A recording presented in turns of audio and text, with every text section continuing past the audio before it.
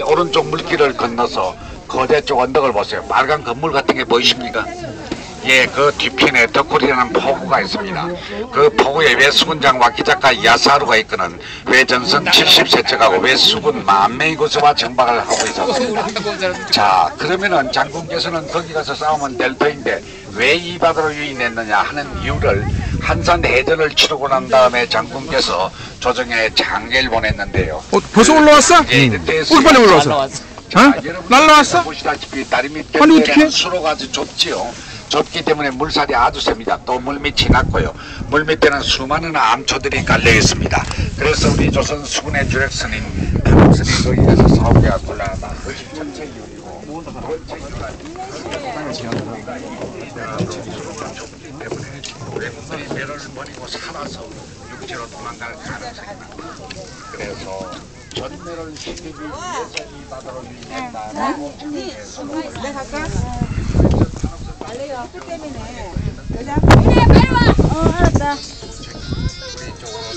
있었습니다.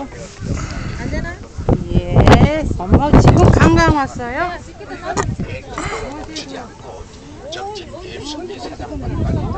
업을 합니다.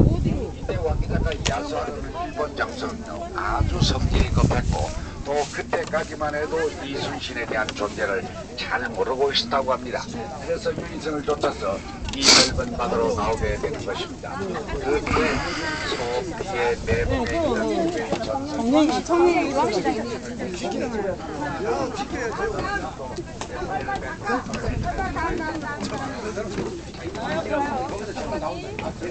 자, 거기 나옵니다. 거기 나와요. 자, 여기 가운데 좀 있어요. 자, 선글라스 위로 올리세요, 선글라스. 이것도 하나 더 찍어. 선글라스면은 이쁘게 안 나와서 괜찮아. 미모가 되는 거예요.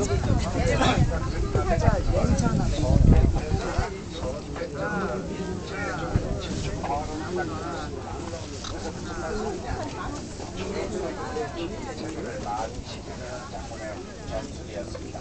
그러니까 장군의 전술 한들마다 소리는 정오경에 시작한 내전이 오후 5시경에 끝나는데요.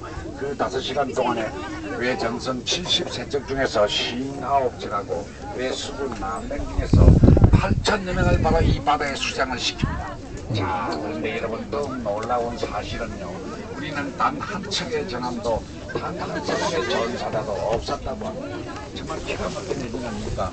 뒤에 세계 해전 사가들이 이 해전을 연구해서 야 어떻게 하면 이렇게 완벽한 승리를 할 수 있냐라고 찬탄을 아끼지 않는 이유가 바로 거기에 있고요. 또 도요토미 히데요시는 이 해전을 끝으로 해서 이제는 조선 수군하고는 싸우지 말라 해전 금지 명령까지 내립니다. 그러니까요 한산 해전은 제해권이 완전히 우리에게 넘어옴과 동시에 경각에 달려있던 국가의 운명을 바꿔놓는 해전이 되는 것입니다. 어, 장군께서는요 임진왜란 동안에 23번의 작고 큰 해전을 치르는데 한 번도 지지 않습니다. 외전선 700여 척을 겹친 또는 납을 합니다. 자 여러분 세계 해전사의 그 유래를 찾아볼 수 없는 대해전의 현장을 지금 보고 계시는데요. 자 오늘 제가 한 이야기가 여러분 마음속에 깊이 깊이 새겨져서 좋은 추억거리가 되었으면 합니다. 자 여러분 감사합니다. 장군님 만나시죠.